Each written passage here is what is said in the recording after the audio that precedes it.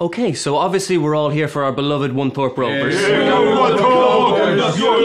Yes, uh, unfortunately, the club has received some bad press recently about the fans. What are you talking about? Bad Press. Yeah, it, it seems that some of the chants, uh, even about our own players, although well-meaning, are in fact racist, homophobic, sexist, ageist, anti-Semitic, violent, crude, ignorant, and classist.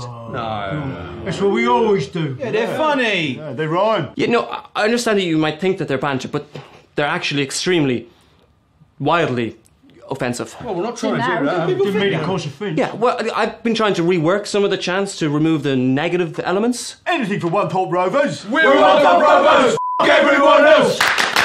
We'll come back to that chant. Um, but why don't we just start with our star striker, Mohammed Aslam? Yeah, great Goals this player. season. Quality player. Coach your left foot. Well, there's a popular chant about Muhammad that I would be happier if it went a, a little something like this. So, Ah Muhammad Aslam arrived on a plane from Pakistan. We hope that you feel welcome. We'd love for you to stay. It's very different to what we had. Yes. Yeah, yes, it is. Uh, and I hope that we can see now how the last chant didn't make him feel welcome. Oh, That's a good okay, point. yeah. Well, what else you got? Oh, okay, yeah, so uh, our right back, Sam Fisher, uh, recently came out as gay. I just want to change the last line of his chant, okay? So, Sam likes the men, Sam likes the men, Sam likes the men, and we're okay with that. Yeah, I mean, if, if you think he's going to like that better. I, I have a feeling he will. As long as we can still be aggressive. Oh, we can still point and shout. Absolutely. I mean, look, abuse is obviously an integral part of football. We, we just have to make sure we're doing it for the right reasons, you know? Yeah. So, like our, our match last week, the referee gave a decision against us, and uh, uh, Dave, I, I think you came up with the chant, uh, "You're nothing but an Irish prick." Yeah, yeah, classic style. Yeah. Uh, it's just that on closer examination, I I hope you'll agree that the fact that he's Irish didn't have anything to do with it. It's just that he was a, well, a massive prick. Besides, he was from Wales, so So he was a Welsh prick.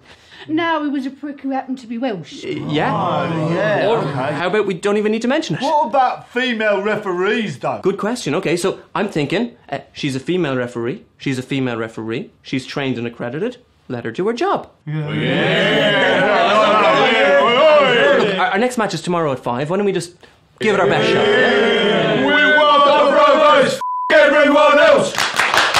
A beautiful goal from number nine, Bernstein. He's Orthodox Jew. Good for a goal or two.